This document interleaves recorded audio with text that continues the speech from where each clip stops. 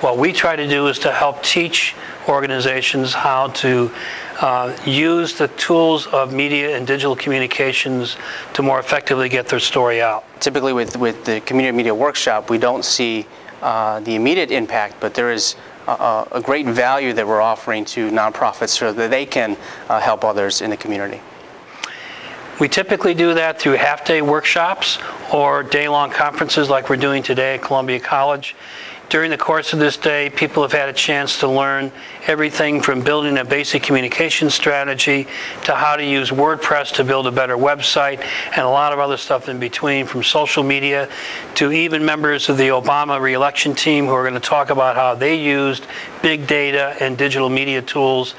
in their successful campaign and how one might translate some of those from a national campaign to more local efforts. Uh, we are a small Chicago-based policy shop working on multiple issue areas um, ranging from education to housing, immigration, and uh, leadership. Every year I've come to the Making Media Connections conference. I've found it to be an invaluable opportunity to network with other people who do the kind of work that I do, often also working alone and with um, very limited budget. As we do this interview, we actually have a keynote conversation going on in the other room with uh, veteran journalist Laura Washington, who's interviewing a leading organizer, Amisha Patel of the Grassroots Collaborative, who's talking about how much use of digital media tools have changed her role as an organizer. I think groups have been really slow to catch on to what the power of online organizing, that it's like, oh, that's not real organizing, you know, like we have to, like, you know, we have to just spend our time on the doors, and it's true, you have to spend your time on the doors, but I think a lot of groups have missed out on what other organizations have figured out about being much more nimble and being actually building more power by, by having effective online strategies that connect with their you know, face-to-face work.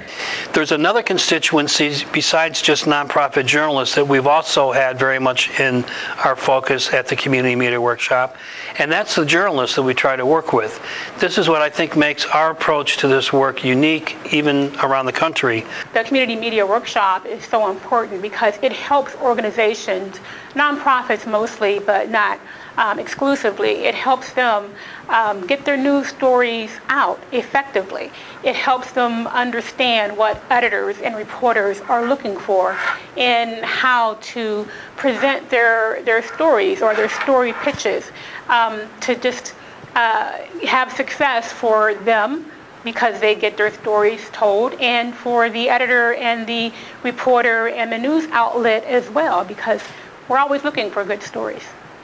We have about six web or blog platforms,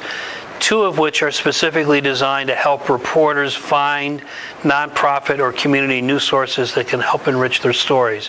One is newstips.org, another is Chicago is the World, which is our repository of both resource lists and story ideas for ethnic media. Our other websites, communitymediaworkshop.org, chicagostories.org, which is another guide to help journalists, particularly from out of town, get quickly introduced to Chicago. Um, the Community News Project, where we are putting journalism practiced by non-traditional journalists. Through these various web platforms, we feel we've built a presence in the city that helps get a certain flavor of news and sourcing of that news in a way that traditional or conventional media wasn't always getting around to in the past.